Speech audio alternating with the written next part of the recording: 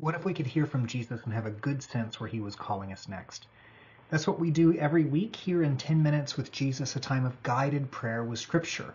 Today we're praying with a passage from this Sunday's readings, Matthew chapter 22, verses 1 through 14, the parable of the wedding banquet.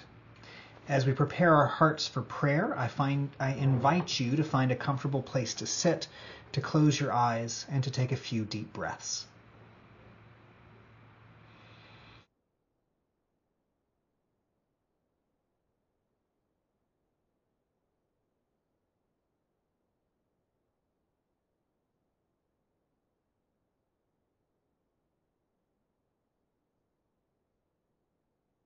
Be present, be present, O Jesus, our great high priest, as you were with your disciples urging and encouraging and pleading with them to lead lives worthy of the gospel of God. Amen. As we read the passage the first time, ask Jesus what word, phrase, image, or idea he wants to stand out to you today as a basis for your prayer. Once more, Jesus spoke to them in parables, saying, The kingdom of heaven may be compared to a king who gave a wedding banquet for his son he sent his slaves to call those who had been invited to the wedding banquet, but they would not come.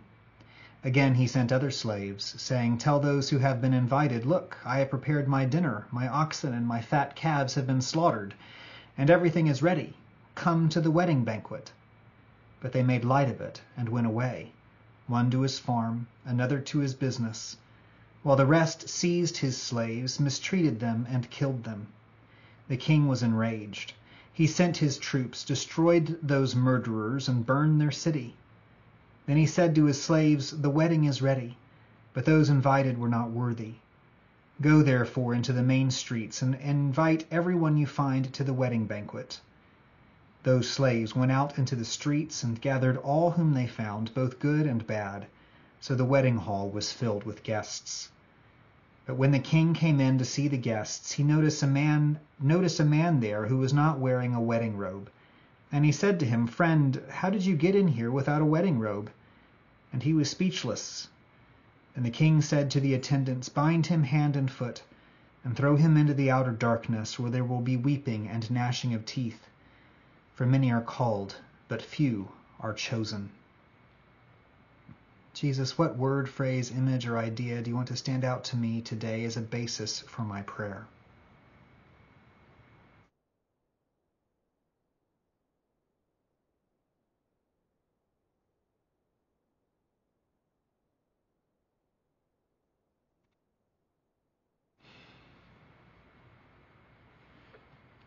And now, as we read the passage a second time, ask Jesus how this passage touches your life today.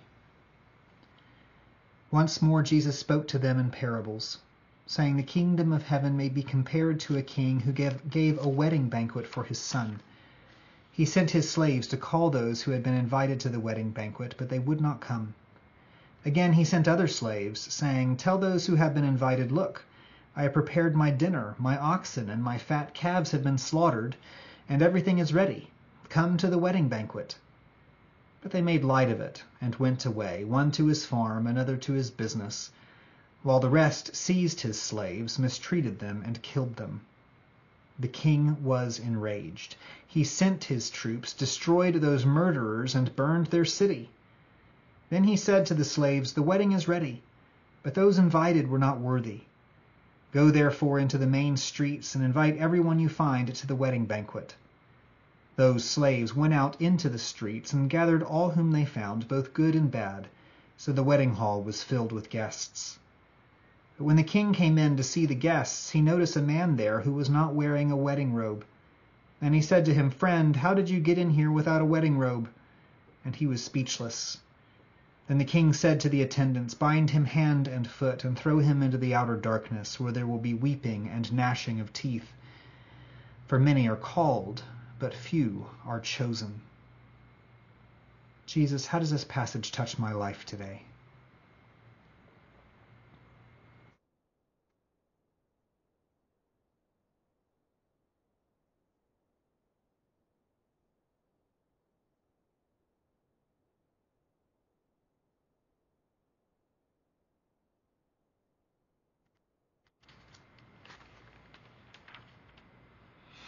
As we read the passage a final time, ask Jesus what he's calling you to do, change, or become.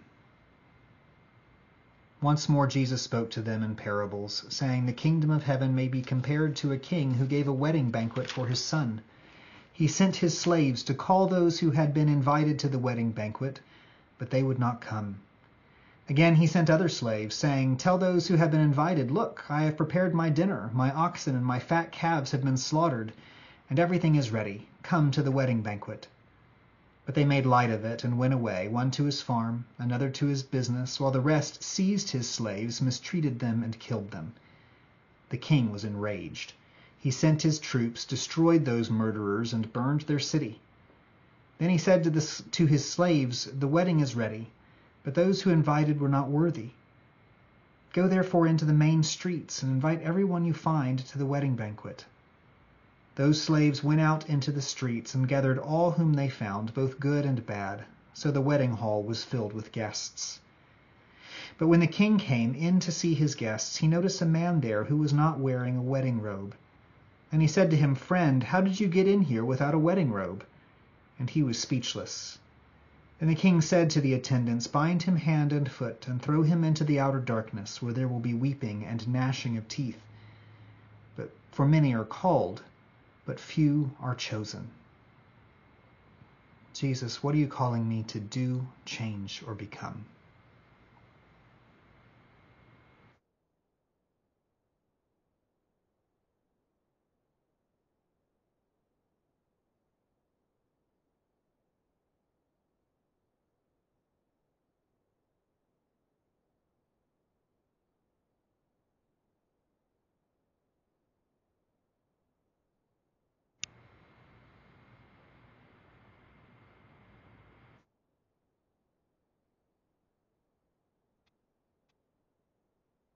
And now drawing all of our prayers into one, we pray as our Savior Christ has taught us. Our Father, who art in heaven, hallowed be thy name. Thy kingdom come, thy will be done, on earth as it is in heaven. Give us this day our daily bread, and forgive us our trespasses, as we forgive those who trespass against us. And lead us not into temptation, but deliver us from evil. For thine is the kingdom, and the power, and the glory, for ever and ever. Amen. Go in peace to love and serve the Lord. Thanks be to God.